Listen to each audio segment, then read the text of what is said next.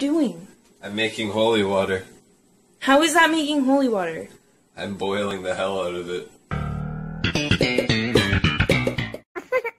That is not correct.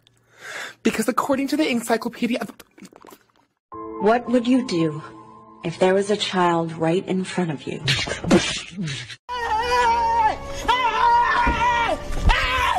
Why are you running? Why are you running? Look at all those chickens. She's such a snake.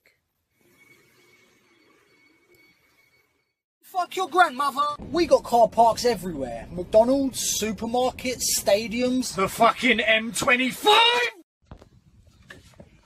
Wake up, sleepyhead! Fuck, man. Today, I'm going to teach you how to face your fears. Now, the first step to facing your fears is.